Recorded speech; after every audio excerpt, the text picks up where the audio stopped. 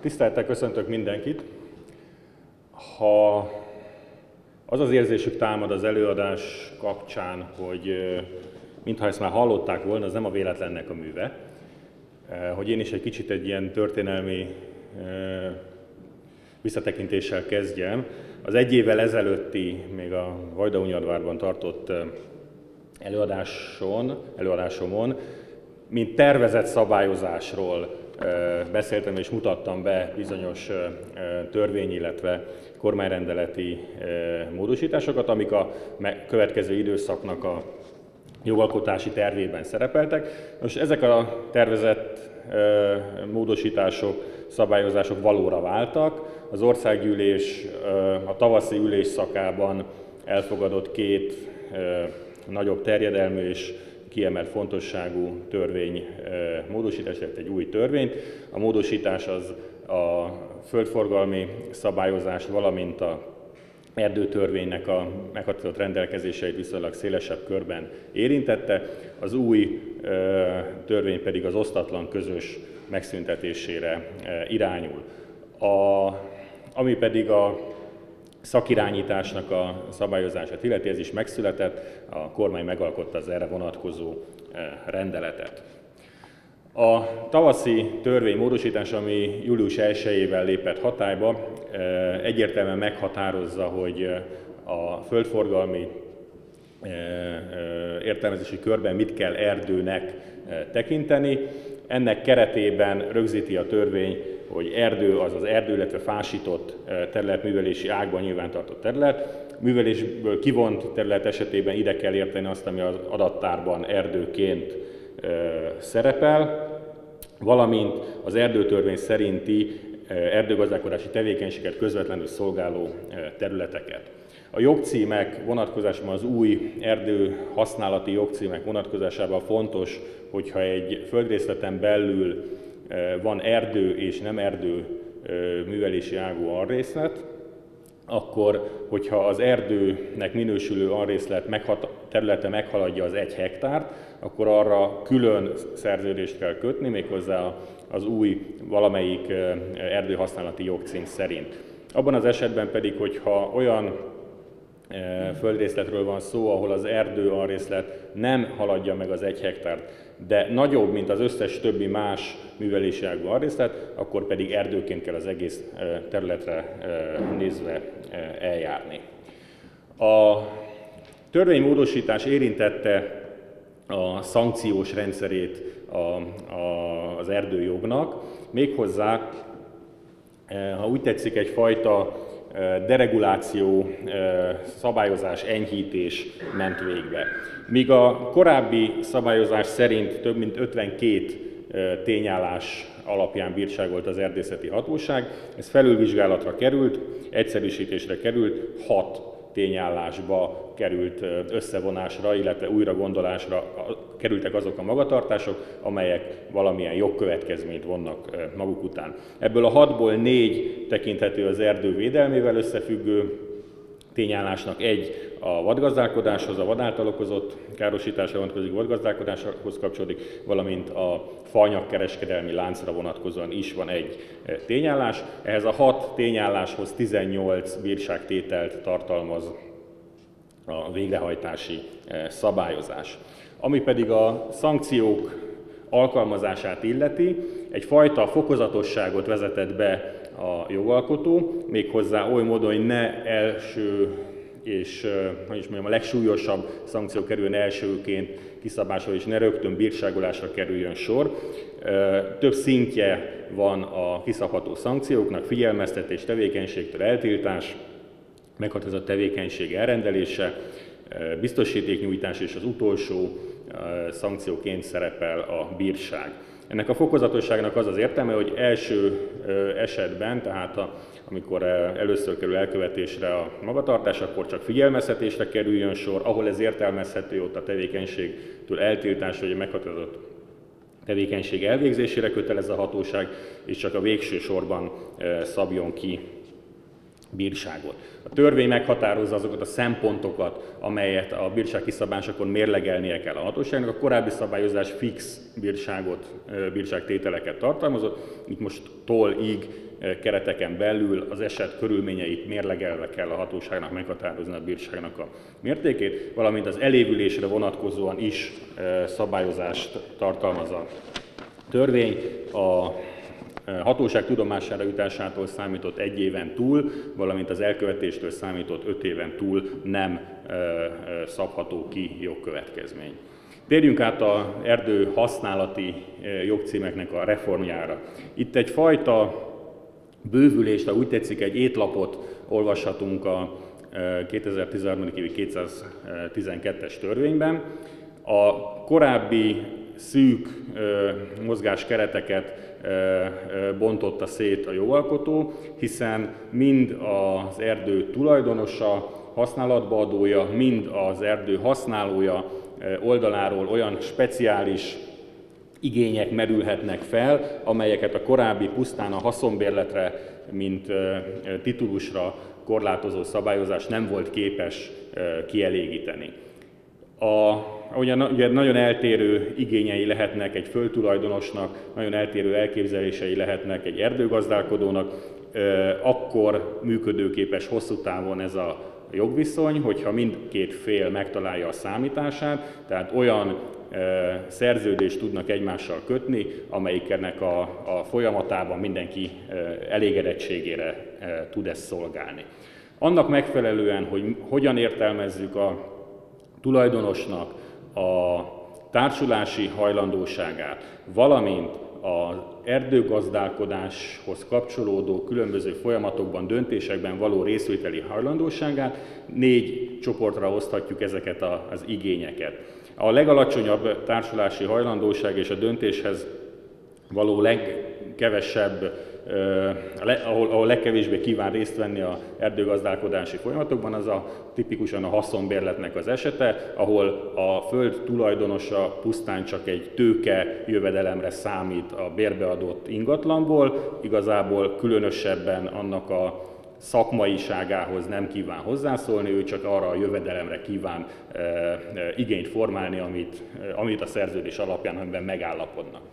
Ehhez képest egy új jogcímmel, úgynevezett integrációval eh, lehetőséget biztosít a, a törvény az olyan eh, földtulajdonosok számára, akiknél magasabb az együttműködési hajlandóság más eh, erdőtulajdonosokkal, a lehetőséget ad másik oldalról az erdőgazdálkodó irányából pedig arra, hogy a tevékenysége során keletkező költségeket, illetve bevételeket a különböző tulajdonosoktól bérbevett ingatlanok között át tudja mozgatni. Ahol magas a tulajdonosnak a beleszólási igénye, tehát ahol igenis komolyan szeretné a tulajdonán képező erdő vagyon alakulását nyomon követni, azt erősen szeretné befolyásolni, azonban nem szeretne együttműködni más tulajdonos, más földtulajdonosokkal ennek a, a megvalósítása során. A, szintén egy megreformált, nevezhetjük félig meddig új jogcímnek az erdőkezelés kategóriáját alakította ki a jogalkotó, végül pedig a negyedik eset, ahol magas a társulási hajlandóság és magas a döntésből való részvételi szándék, ez tipikusan az erdőbirtokossági társulat, illetve kis erdő földterületekre nézve úgynevezett polgárjogi társulás formájában is ez egy új lehetőség, rendelkezés biztosít a, a törvényi szabályozás. Ez a polgárjogi társaság, ez az osztatlan közös tulajdonban álló erdőkre vonatkozik, ilyenkor saját maguk az erdő tulajdonosai a tulajdon jogcímen, tehát a saját jogukon bírva használják az erdőt, egy szerződéses kapcsolat jön közöttük az erdő használatára vonatkozóan létre. Ez lehet az erdőnek a teljes területe, vagy egy meghatározott része, ami nagyon fontos, hogy ez a tulajdonjoghoz kapcsolódik, tehát ebben a polgárjogi társaságban a mindenkori tulajdonosok, illetve haszonélvezet fennállás esetén a haszonélvező vehet részt. A vagyoni hozzájárulásukat a tevékenységükhöz a tulajdoni hányaduknak megfelelően kell teljesíteni, választanak maguk közül egy képviselőt, aki kifele az ő társulásukat képes akár a hatóság, akár szerződéses partnerek irányába megjeleníteni, ez az úgynevezett erdőgazda. Természetesen itt a, elengedhetetlen az együttműködés a az érintett tulajdonostársak közül, ezért, hogyha a tulajdoni joguk valamilyen formában megszűnik, az a társaság megszűnését is magával hozza, hogyha ezt tovább kívánják folytatni, akkor az új tulajdonosi körrel ismételten erről meg kell állapodniuk. A haszonbérlet, mint jogcím jelentősen újra szabályozásra került a július 1-ével. Ennek emögött leginkább az a megfontolás húzódik, hogy míg egy mezőgazdasági terület haszonbérbe adásánál abból a mm, körülményből eredően, hogy a szántóterületeknél a földterületnek az értéke és a rajta levő növényállománynak az értéke az pont ellentétes, mint egy erdőnél, ahol a, ahol a, a faállománynak az értéke az messze meghaladhatja sok esetben az erdőtalajnak az értékét. Itt sokkal inkább fontos az, hogy megfelelő garanciális elemek jelenjenek meg az erdő tulajdonosa irányában. Kiindulva abból a gondolatból, hogy ha valakinek van egy eszköze és az bérbe kívánja adni, akkor teljesen természetes igény a részéről, hogy azt az eszközt, amit kölcsön adott, azt visszakapja, legalább olyan állapotban, mint ahogyan ő azt kölcsön adta, és értsünk ez alatt akár egy gépjárművet, vagy valamilyen műszaki berendezést, ugye ha ezt én a barátomnak kölcsönadom, akkor nagyon rossz néven veszem, hogyha egy rommá tört járművet kapok vissza, vagy olyat, aminek alkatrészei hiányoznak. Hát nagyon hasonló a megközelítés az erdő haszonbérbe adása esetében is. Tehát szeretné a tulajdonos legalább azt az értéket visszakapni a jogviszony megszűnésekor, mint ami a jogviszony létrejöttekor, amit képviselt az erdő. Persze ettől egyező akarattal, kifejezett szándék esetén eltérhetnek, tehát lehetőség van arra, hogy e, például, hogy alacsonyabb értéket kapjon vissza, de akkor erről kifejezetten így is kell a feleknek e, megállapodni. Ezért rögzíti azt a törvény, hogy főszabály szerint a hasznok szedésének a joga a haszonbérlő részéről az a növedék erejéig terjed, és csak akkor lehet ennél nagyobb mértékű, hogyha erre vonatkozóan kifejezetten e, megállapodtak. Hogyha véghasználatra kerül sor az erdőben, vagy valamilyen nem tervezett indokból e, kerül sor e, olyan mértékű fakitermelésre, ami felújítási kötelezettséget von maga után, akkor erre vonatkozóan az erdőgazdálkodó haszonbérlőnek garanciát kell vállalnia, vagy megfelelő biztosítékot kell nyújtani, és ebből a biztosítékból kell végrehajtani az erdőnek a felújítását. Lehetőséget biztosít a szabályozás arra, hogy a, a felek a bérleti díj fizetés vonatkozásában a tipikus haszonbérleti szabályoktól eltérhessenek, tehát lehetőség van egy évnél hosszabb fizetési időszakban történő megállapodásra, valamint előleg fizetésére is. Ami viszont nagyon fontos, hogy az előbb említett garancia, tulajdonosi garancia érdekében a jogviszony létrejöttekor meg kell határozniuk az erdőnek az értékét, valamint azt a módszertant, amivel az erdő értékét meghatározták, annak érdekében, hogy amikor megszűnik a köztük fennálló jogviszony, akkor ugyanezen módszertan alkalmazásával ismételten megállapítsák az erdőnek az értékét, és ez alapján tudjanak egymás között elszámolni. Mi is ez az elszámolás, ami a felek között keletkezik? Itt ezen a diagramon a a függőleges tengelyen az erdő értéke, míg a vízszintes tengelyen az idő múlása látható. A kiinduló pillanatban megállapították az erdő értékét, ez a vízszintes szaggatott vonal, ezt kellene elvileg a jogviszony végén elérniük. Ugye az idő múlásával gyarapszik az erdőnek az értéke, emelkedik a, a, ez a fűrészfokhoz hasonló e, zöld e, egyenes, majd történik egy fahasználat, aztán ismételten emelkedik a, a, az erdőnek az értéke. Abban az esetben, hogyha a futamidő, tehát az eredeti szerződéses időtartamra, na, időtartamnak megfelelően jár le a szerződés, akkor minden rendben van, mert hogy ugyanazt az értéket sikerül nekik elérni. Abban az esetben viszont, hogyha valamilyen oknál fogva esetleg hamarabb szűnik meg a, a jogviszony, akkor elszámolási kötelezettség van a felek között. Az első esetben olyan időt ben szűnik, szűnt meg a szerződés, amikor még nem kerülhetett sor fakitermelésre a erdőgazdálkodó által tervezett mértékben az erdőben, tehát az erdőgazdálkodó az erdőnek az értéke gyarapodott, azonban ez a gyarap, ezzel a gyarapodással, növedékkel nem tudott élni az erdőgazdálkodó. Ebben az esetben, ha így szűnik meg a jogviszony, akkor ezt a Q1-jel jelölt növedéknek a mértékét a tulajdonosnak meg kell téríteni az erdőgazdálkodó irányába, hiszen az erdőgazdálkodó azzal számolt, hogy ezt a jövedelmet meg tudja szerezni, és hát ezzel ennyivel nagyobb értékű erdőt kap vissza a tulajdonos. A második esetben, amikor a kitermelés követően szűnt meg a szerződés, itt még nem volt elég idő, hogy visszanőjön az erdőnek az értéke, ebben az esetben pedig az erdő gazdálkodónak kell a Q2-vel jelölt értékkülönbözetet megtérítenie a tulajdonos számára, hiszen nem kapta vissza azt az értékű erdő vagyont a tulajdonos, amit a szerződés megkötésekor rendelkezésre bocsátott. A következő, és nevezzük új használati jogcímnek ez az erdőgazdálkodási integrációs szerződés. Ebben az esetben az erdő gazdálkodó integrátor előzetesen közzétesz általános szerződési feltétel formájában e, meghatározott paramétereket, méghozzá arra vonatkozóan, hogy ő milyen feltételekkel hajlandó a már meglevő erdőgazdálkodási portfóliójába újabb erdőterületeket bevonni.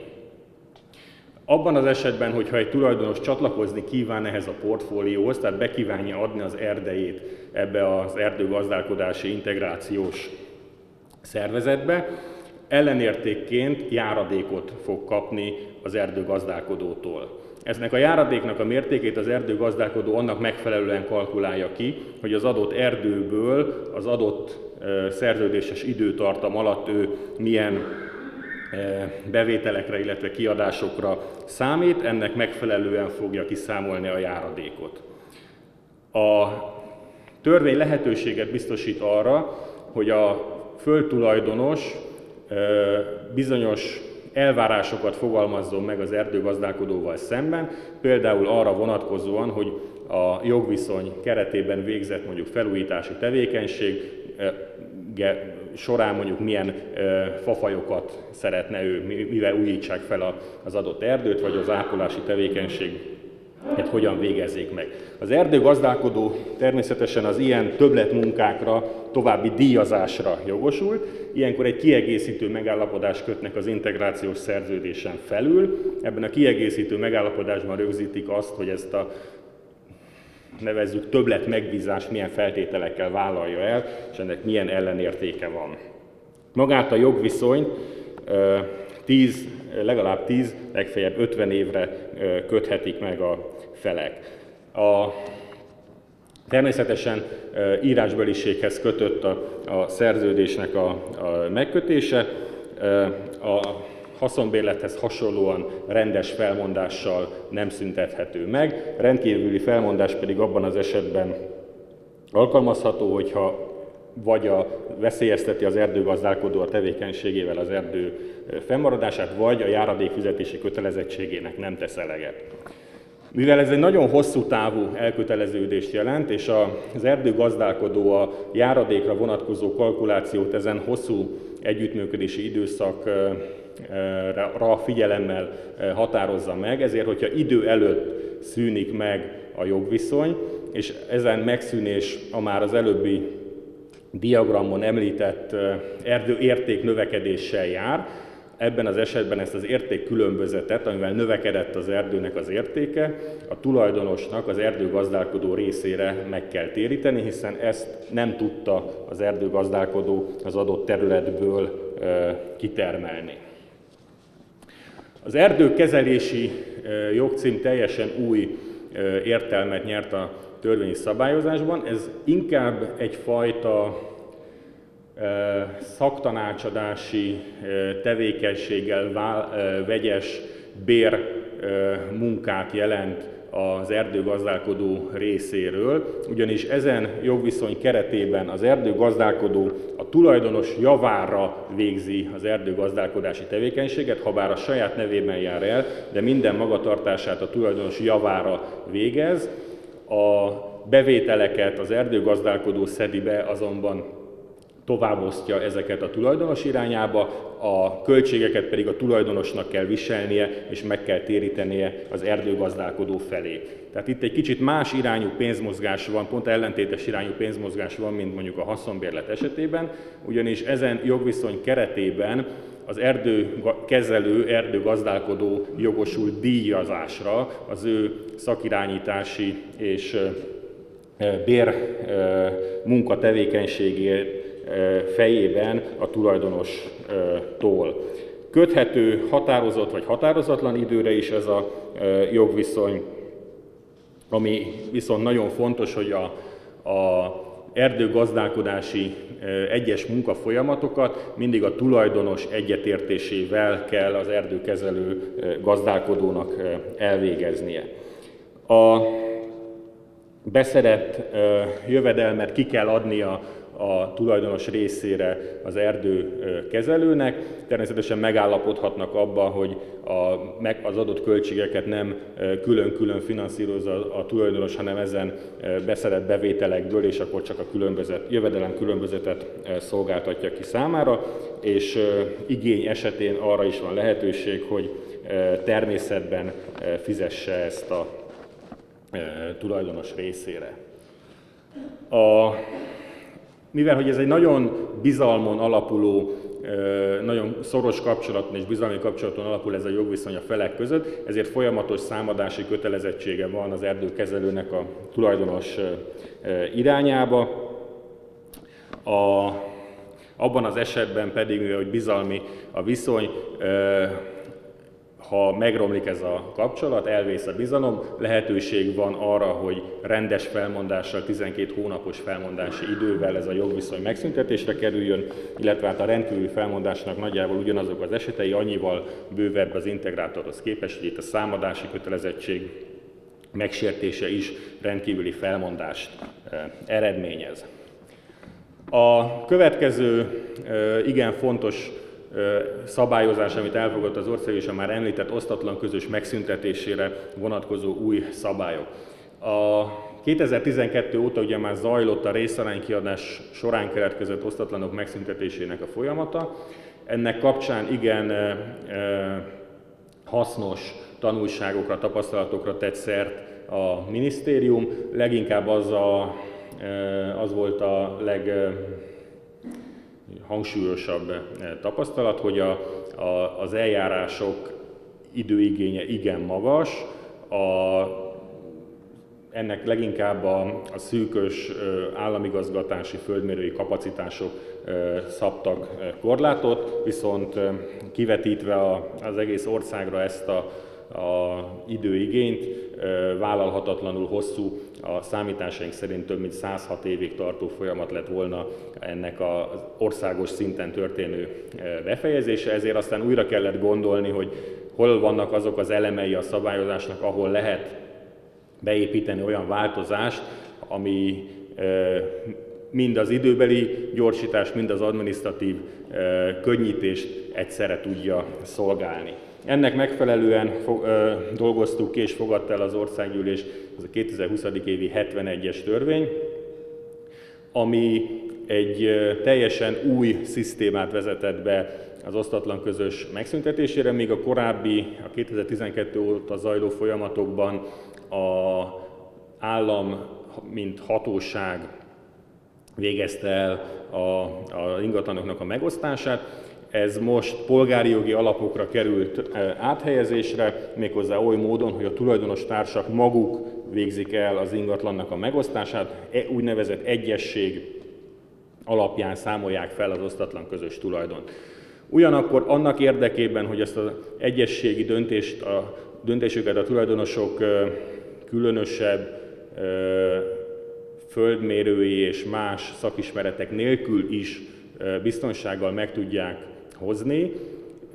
Egy informatikai eszközt, egy úgynevezett osztóprogramot biztosítunk az érintett tulajdonosok számára, és ezen osztóprogrammal lesznek képesek ábrázolni azt a megállapodást, ami az ingatlan megszüntetésével függ össze. A gyorsítás érdekében maga a megosztás kizárólag jogi megosztást jelent. Ez azt jelenti, hogy a birtokba adáskor szokásos karók kitűzésére nem kerül sor. Igazából ennek az a nagyon egyszerű oka, hogyha én egy adásvétel keretében vásárolok egy ingatlant, akkor, sem, akkor sincs benne az eljárásban, hogy a földhivataltól a tulajdoni lap mellé eh, egy olyan szolgáltatást is kapnék, hogy kikarozzák a földemet. Természetesen valaki kíváncsi arra, hogy hol vannak az ingatlanának a fizikai határai, akkor ezt megteheti, hogy egy földmérőt erre megbízés eh, elvégezteti ezt a munkát, de ezzel is gyorsít, sikerül gyorsítani az eljárást. Most már nem csak a részaránykiadás során keletkezett, hanem valamennyi osztatlan közös megszüntetésére kiterjed a szabályozás, tehát úgy a kárpótlási eljárások során keletkezett osztatlan közös, mind az öröklés útján keletkezett osztatlan közösök. A teljes ingatlan megosztásra kerül, a főszabály szerint nem marad úgynevezett visszamaradó ingatlan, tehát ha valahol kérelmezik akkor a, a, a megszüntetést, akkor ott a tulajdonosoknak a lehetőségük van arra, hogy az egész ingatlant megosszák. Ahogyan említettem, egyességen alapul, ez az egyesség ez egy többségi döntést jelent, méghozzá tulajdoni hányad alapján számított többségi döntést jelent. Ezen többségi döntéssel lehet megszüntetni az osztatlan közös. Kívülálló harmadik személyek pedig nem léphetnek be az ügyletbe, tehát kizárólag a tulajdonosokra tartozik ez a döntés. Am, a, hogyan említettem, a, a, az egyesség az egy 50% plusz egyes, tehát többség, egy szavazat, tehát többséggel jön létre.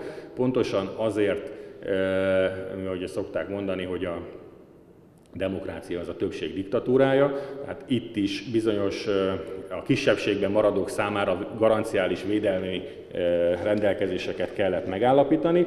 Az egyik ilyen garanciális szabály hogy ha csak kifejezetten bele nem egyezik az adott tulajdonostárs, az aranykorona értéken számított terület nagyságot meg kell kapnia. Tehát csak akkor kaphat annál kisebbet, hogyha abba kifejezetten beleegyezett. A másik ilyen garanciális elem, hogy a kialakításra kerülő ingatlannak mezőgazdasági művelésre alkalmasnak kell lennie. Az, hogy mikor alkalmas egy ingatlan mezőgazdasági művelésre, ezt esetről esetre kell eldönteni, tehát erre nincsenek ilyen általános vagy szabványban leírt rendelkezések. Ezt a, a, a adott esetben, hogyha valaki ezt vitatja, akkor a végén a bíróság ezt szakértő igénybevételével fogja megállapítani. Szintén a tulajdonos társak döntésére bízza a törvény azt, hogy az ingatlan megközelítését hogyan biztosítják, tehát hogy utat, külön helyrezi számú nyilvántartott utat alakítanak-e ki, vagy szolgalmi joggal biztosítják az ingatlan megközelítését. Tehát például erdő esetében ugye kiemelten e, felmerülhet, hogy nem feltétlenül kell azért utat létrehozni, elég majd csak akkor biztosítani a megközelítést, amikor valamilyen e, munkálat miatt ez fontos.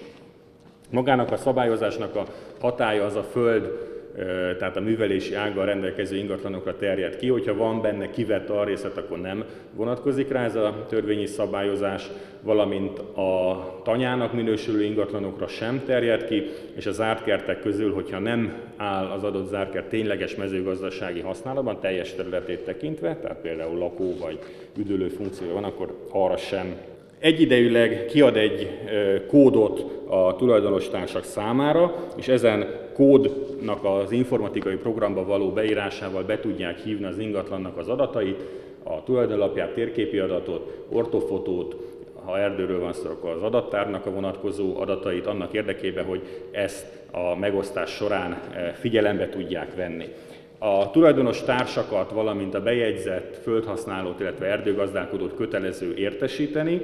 Abban az esetben nem szükséges az értesítés, hogyha ez valamilyen oknál fogva akadályba ütközik, például mert az illető személye bizonytalan, tehát a tulajdoni lap alapján nem állapítható meg az illetőnek a személy, mert csak annyi, annyi bejegyzés van ott, hogy Kovács István lakik Budapest, és akkor ez ennél több információ nincs az, az ilyen tulajdonostársaknak az értesítése mellőzhető. Ha pedig visszaérkezik az értesítés, hogy nem sikerült, visszaérkezik a, tért, a levél, a tértvényes levél, hogy nem sikerült azt kézbesíteni, mert az illető az elhúnyt, vagy nem kereste, nem található meg, vagy megtagadta az átvételt, akkor őt úgy kell tekinteni, hogy az értesítése megtörtént. Ez miért fontos? Azért fontos, mert az ilyen szereplőknél az ő tulajdoni hányadukat úgy kell tekinteni a többségi döntés számításakor, hogy ők aláírták, tehát ők beleegyeztek az egyességi okirat szerinti megszüntetésbe. Ez azért nagyon fontos, mert őket pozitív szavazatként lehet figyelembe venni. Ahogyan említettem, többségi döntéssel szűnik meg az osztatlan közös, és a többség döntésének a hatája az kiterjed a kisebbségre is, tehát aki kisebbségben marad, arra ugyanúgy kötelező, nem mondhatja azt, hogy, hogy ő, ő nem hajlandó ezt végrehajtani. A megosztás során nem keletkezik osztatlan közös tulajdon, tehát a teljes ingatlan megosztásra kerül, kivéve, hogyha az adott tulajdonos társak kifejezetten kérik, hogy ők osztatlan közösben szeretnének maradni, mert például mondjuk férj feleségről vagy családtagról van szó, akik nem akarják különméretni a, a tulajdonukat, akkor ők maradhatnak osztatlan közösben, vagy bármilyen egyéb oknál fogva. A lényeg az, hogy ez kifejezetten eh, kérni eh, szükséges. A szabályozás lehetőséget biztosít arra, hogy a megosztással egyidejűleg kivásárolják az egyik tulajdonos társat, tehát létrejön a megosztással egyidejűleg egy adásvétel. Ez azért ö, ö, érdekes, ugyanis ilyenkor a, a szerzésnek a jogcíme az osztatlan közös megszüntetése lesz, tehát nem kell kifüggeszteni, nem kell e, kamarával, illetve földhivatallal jóvá hagyatni az ügyletet, úgy ki tud szállni valamelyik tulajdonos társ, és át tudja ruházni akár a részben, akár teljesen a tulajdoni hányadát. Valamint lehetőség van arra is, hogy cserével vegyes megosztás jön létre. Ez az a szituáció, amikor több földrészletben van valakinek tulajdoni hányada, és ő azt szeretné, hogy ne mindenhol külön-külön mérjék ki, hanem az egyikbe kerüljön át tömbösítve, cserébe a többi föld területen meg a többi tulajdonostárs számára adja át a meglevő hányadát, tehát így cserélnek egymással. Például a részarány kiadás során keletkeztek olyan területek, hogy egy adott településen több helyrajzi számban, de ugyanazok a tulajdonos társak vannak benne, csak most megállapodnak arról, hogy én innen kijövök, te bemész oda, amaz meg ebbe jön be, tehát hogy egyfajta birtokrendezés, birtokkonszolidáció is megvalósítható. Nagyon fontos az adateltéréseknek a kérdésköre, ugyanis az eljárás során a földhivatal kizárólag a nyilvántartás beli adathibákat fogja javítani, vagyis amikor a térképi állomány és a tulajdoni lap adatai között van eltérés. Abban az esetben, hogyha a tényállapot és a nyilvántartás között van eltérés, akár területnagyság, akár művelési ág esetében például mert beerdősült a terület, ezt nem javítja hivatalból a földhivatal, ilyenkor a tulajdonostársaknak maguknak kell eldönteni, és ugye mivel nincsen keretmérés, ezért ez a hiba a gyakorlatban nem is tud előjönni, ha csak nincsen róla információjuk. Tehát a tulajdonos maguknak kell eldönteni, hogy rendezni kívánják-e ezt a hibát, ki akarják ezt javítani, vagy ennek tudatában osztják meg az ingatlan. Onnantól fogva, hogy ezt mondjuk úgy, hogy bevállalták, tehát hogy ennek tudatában osztották meg az ingatlan, a későbbiekben erre nem hivatkozhatnak, hogy ebből valamilyen káruk származik. Nagyon gyakran előfordul, hogy az ingatlanon valamilyen teher található, haszonélvezet, jelzálog, vezetékjog, végrehajtási jog, rengetegféle teher létezik. Rendelkezni kell az egyességgel való megszüntetés során arról is, hogy ezek a terhek a újonnan kialakításra kerülő ingatlanokra hogyan szállnak át. Nyilvánvalóan egy vezetékjog esetében nagyjából világos, hogy ahol az húzódik, az alatta fekvő vagy fölötte fekvő ingatlant fogja érinteni, ahol pedig valamilyen személyhez kötődő teherről van szó, mondjuk jelzálogról, vagy haszonélvezetről, akkor ott az adott tulajdonos ingatlanához kapcsolódóan kell ezt átvezetni. Ennek érdekében a szükséges adatokat a földhivatal megadja a tulajdonos társak számára, tehát az elérhetőségeit ezeknek a teherjogosultaknak. Az egyesség tervezetét meg kell küldeni ezeknek a jogosultaknak, akiknek 15 napjuk van arra, hogy erre reagáljanak, vagy úgy, hogy elfogadják, hogy ez jól lett bejegyezve, vagy jelezzék, hogy valamilyen hiba van. Hogyha 15 napon belül nem reagálnak, akkor úgy kell tekinteni, hogy elfogadták. Ez azonban nem jelenti azt, tehát, hogyha mondjuk lefelejtették az OTP-nek a jelzálogát, ez nem jelenti azt, hogy innentől fogva tehermentessé vált az ingatlan. Ez csak azt jelenti, hogy egy nyilvántartáson kívüli teherről van szó, aminek annyi a jogkövetkezménye, hogy a jogosult bármikor visszajegyeztetheti, csak onnantól fogva neki kell kifizetni ennek az eljárási költségét vagy díjat. Tehát, hogyha az EON vagy a MOL vagy az OTP nem szól időben, akkor ettől még a jogosultsága nem szűnt meg. Utak kialakítása, erről már beszéltem, hogy az ingatlan megközelíthetőségét a tulajdonos társak döntése szerint kell kialakítani. Ez azt jelenti, hogy eldönthetik, hogy akarnak-e utat. Ha akarnak utat, akkor az kinek a tulajdonába kerüljön, hiszen az lehet mindannyiuk közös tulajdona, de akár lehet csak annak a tulajdona, akinek a, az ingatlanának a megközelítéséhez erre szükség van. Eldönthetik, hogy mindenki ad hozzá aranykoronát, vagy csak azok, akiknek kell és akár úgy is dönthetnek, hogy nem csinálnak utat, viszont ebben az esetben kötelező az átjárási szolgalmat megalapítani, tehát az ingatlan megközelíthetőségét, kialakításra kerülő új ingatlanok megközelíthetőségét minden esetben biztosítani kell. Az út vonatkozásában az nagyon fontos, hogy út az úthoz csatlakozzon, tehát az úgy kell kialakítani, hogy a, a közút kapcsolat a végeredményben biztosítható ö, legyen. A birtok, ugye az osztatlan tehát a megosztás, az osztatlan megszüntetése az óhatatlanul magával hozza azt, hogy kisebb földrészletek jönnek létre, mint a kiinduló pont volt. Ezt nevezzük ugye birtok elaprózódásnak, ami egy adott esetben bizonyos méret határ alatt nagyon kellemetlen, művelhetetlenül pici parcellákat hoz létre. Ezért területi minimumot határoz meg a törvény, aminél kisebb, nem, aminél kisebb földrészlet nem alakítható ki az osztatlan megszüntetése eh, során. Ez a területi minimum szántó, rétlegelő erdő esetében 1 hektár, az ültetvények esetében kertszőlő gyümölcsös esetében 0,3, zárt kert esetében pedig 1500 eh, négyzetméter. Tehát ennél kisebb ingatlan az eljárás eredményeként nem alakítható eh, ki. Mi van akkor, hogyha olyan földről van szó, ahol ami, ami ilyen területi minimum alá esik. Az egyik eset, amikor már a kiinduló pontban olyan ingatlanról van szó, amiből nem lehet legalább kettő a területi minimumnak megfelelő méretűt kialakítani. Tehát akárhogy osztom, az egyik biztos, hogy kisebb lesz a területi minimumnál, tehát mondjuk szántó vagy erdő esetében azok a területek, amik két hektárt nem érnek el. Ebben az esetben nyilvánvalóan nem is beszélhetünk megosztásról, tehát föl sem merül, hogy az ingatlant megosszuk. Ilyenkor az osztatlan közös tulajdont úgy kell megszüntetni, hogy az egész ingatlant valamelyik tulajdonos társ tulajdonába kell adni. Melyik legyen az a tulajdonos társ, aki ezt megszerezheti? Erről a törvény rendelkezik. Az a tulajdonos társ, aki a legnagyobb részt használja az ingatlant, ha ez így nem dönthető el, akkor az a tulajdonos társ, aki a legnagyobb tulajdoni hányaddal rendelkezik benne, ha ez még mindig nem dönthető el, akkor a legfiatalabb tulajdonos társ. A kieső tulajdonos társak persze nem maradhatnak hoppon, részükre megváltást kell fizetni, ki kell fizetni az ellenértékét az ingatlannak. Ez az ellenérték úgy kerül megállapításra, egy úgynevezett értékbecslési ajánlatot teszünk mi, mint államigazgatás közzé. Ez a megelőző öt év értékesítési adataiból képzett átlagot fogja jelenteni települési és művelési ágbontásban aranykoronára vetítve, tehát ez egy táblázat lesz. Ez az értékbecslési ajánlatot kell, az ott szereplő összeget kell minimum kifizetni a, a tulajdonostársnak. Abban az esetben, ha nem ért vele egyet, akkor lehetősége van arra, hogy igazságügyi szakértőt kérjen, és akkor amit az igazságügyi szakértő állapít meg, azt az összeget kell fizetni. Amíg ezzel se ért egyet, akkor meg elmehet bíróságra. Mi van abban az esetben, amikor olyan ingatlanról van szó, ahol lehetőség van arra, tehát nagyobb az ingatlan annál, lehetőség van a megosztásra, nagyobb annál, hogy kialakíthatóak a területi minimum szerinti hányadok, azonban van olyan tulajdonos társ, akinek olyan pici a tulajdoni hányada, hogy az ő területe ez alapján nem fogja elérni az inga, a területi minimumot.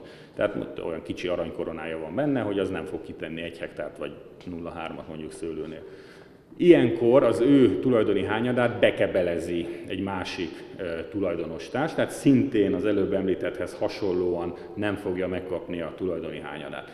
Ki kebelezheti be? Az a tulajdonostárs, aki az eljárást megindította, tehát aki a földhivatalnál beadta a kérelmet és a 15 ezer forintot befizette.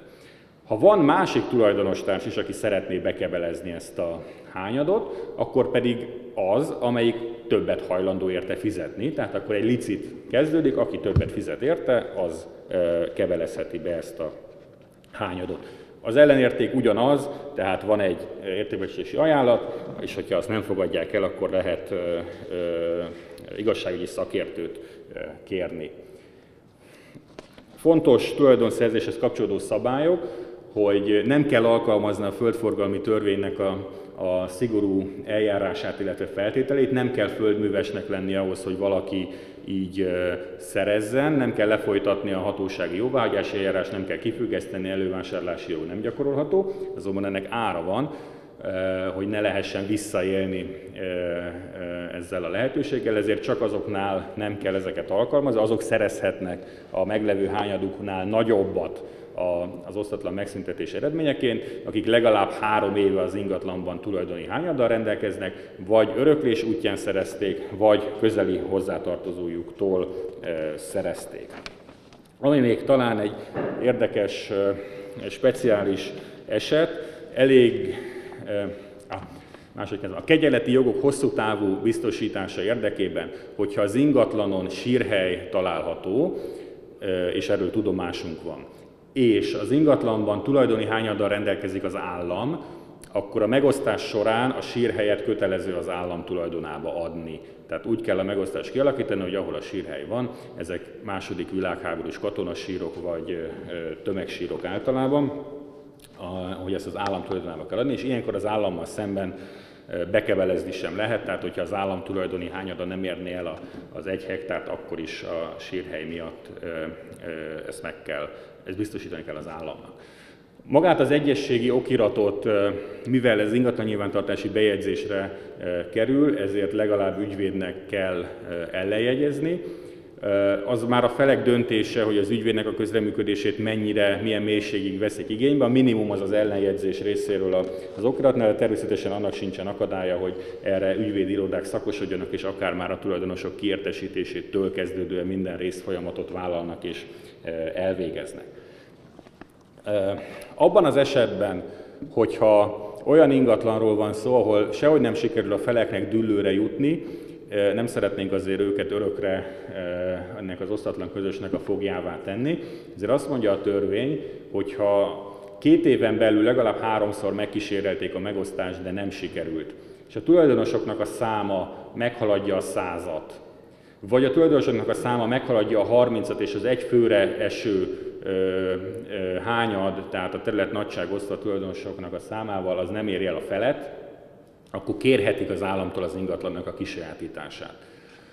A, csak hogy egy példával illusztráljam, mondjuk Győr megyében van egy olyan szántó terület, 8,5 hektáros szántó, aminek 1640 tulajdonosa van. 1640 ember között soha büdös életben nem lehet létrehozni az 50%-os egyességet. Nyilván ez, ez ilyen típusú, de már mondjuk már 100 ember között sem, az ilyen nagy tulajdonosi számmal rendelkező területeknél lesz megoldása az osztatlan megszüntetésére, hogyha ezeket az állam veszi tulajdonba a kisajátításnak a szabályai mentén. Tartalmaz a törvény egy rendelkezést arra vonatkozóan, ahogy az adathiányos tulajdoni lapok hogyan oldhatóak meg. A földhivatal minden évben el fogja végezni a, a nyilvántartásnak a felülvizsgálatát, ahol, hogyha talál valamilyen hiányt, vagy valamilyen adata hiányzik a tulajdonosnak, akkor ezt megpróbálja kideríteni. Hogy ez mennyire jellemző, Magyarországon 18 millió helyrajzi szám van, a 18 millióból 1 millió 800 ezernél hiányzik valamelyik adata a tulajdonosnak. A, az az olyan bejegyzések száma, ahol csak a neve van meg a tulajdonosnak például 50 ezer, de ahol a név és egy címadat, de ez a címadat nem teljes, hanem csak mondjuk a települési adat, olyanból is több mint 80 ezer van. Megpróbálja a földhivatal kideríteni a személyadat és lakcím nyilvántartóból a hiányzó adatokat, hogyha ezzel sikerre jár, akkor hivatalból ezt javítja, ha nem jár sikerrel, akkor megpróbálja hirdetményezés útján megtalálni az érintettet, illetve beszerezni a hiányzó adatokat, és ha ez a hirdetményezés sem vezet eredményre, úgynevezett beazonosítatlannak fogja minősíteni az ingatlant. Abban az esetben pedig, hogyha olyan tulajdonos vagy olyan jogosultat, jogosultat találunk, aki 120 évnél idősebb, és nincs arra vonatkozó adatunk, hogy elhalálozott volna, szintén egy ilyen hirdetményezésre kerül. Hogy ez mennyire élő, a, az előbb említett nyilvántartási adatokból olyan tulajdonos, aki 1896, tehát a millennium, ugye amikor itt emelték az obeliszket, millennium előtt született, olyanból 12 ezer van élőbejegyzés. És a legrégebbi az meg 1858-as, Isten éltesse a köztünk van, de valószínűleg nem. Úgyhogy az ilyen esetekben is beazonosítatlannak minősítjük az ingatlant, aminek pedig az az eredménye, hogy az állam tulajdonába fog kerülni, és az állam lefolytat egy értékbestést, ezt utána letéti számlán kezeli, és hogyha előkerül az örökös, vagy, vagy annak a jogutódja, akkor, akkor az jelentkezhet ezért az ellenértékért, de azzal, hogy állam, állami tulajdonba került, ezzel vissza lehet vezetni a földpiacot, tehát a Nemzeti Földügyi Központ ezt utána tudja értékesíteni, vagy haszonbérbe adni. Végül pedig a szakir, nagyon röviden a szakirányításnak a szabályairól, ugye megjelent a 244 per 2020-as kormányrendelet, hát egyfajta reformot kívántunk bevezetni ezzel a a tevé, szakirányítási tevékenység minőségét biztosítandó. Ugye a szakirányító az a személy, aki felel a, a szakmai munkáért, ő ö, tartja a kapcsolatot a, a hatósággal, és hát ennek a színvonalát e, emelendő, e, egyrészt e, már eleve a, a paramétereket tekintve szabályok kerültek megállapításra, valamint a továbbképzés vonatkozás, amilyen kreditpontos rendszerben kell biztosítani az ismeretek folyamatos naprakészségét. A szakirányításnak a feltétele, hogy érvényes státuszú szakirányítónak kell lenni, tehát olyan szakirányító vállalkozás végezhetén tevékenység, hogy érvényes státuszú szakirányítóval rendelkezik. A szakszemélyzet vonatkozásában feltétel a meghatározott képzettségi feltételeket kell teljesíteni, tehát vagy felsőfokú, vagy technikus szakképesítéssel, vagy az, annak megfelelően elismerhető szakképesítéssel kell rendelkezni, és esküt kell tenni. Jogosult erdészeti szakszemélyzet vonatkozásában pedig a megelőző tíz évben legalább két éves gyakorlatot kell igazolni. Ez a gyakorlat ez lehet a hatóságnál végzett tevékenység, lehet erdőgazdálkodóként végzett tevékenység, vagy erdészeti szakszemélyzetként való foglalkoztatással megszerzett tevékenység. Ezen felül egy alapképzést kell elsajátítani, valamint fontos, hogy ne álljon az illető eltiltás hatája alatt. A szakirányító vállalkozásként az vehető nyilvántartásba, ahol rendelkezik a legalább egy érvényes státuszú szakszemélyzettel, az elektronikus kapcsolattartása megvan a hatósággal, a tevékenységi köre pedig erdőgazdálkodási tevékenység. És nagyon fontos, hogy nem áll felszámolás, végelszámolás hogy fizetésképtelenségi eljárás alatt. A,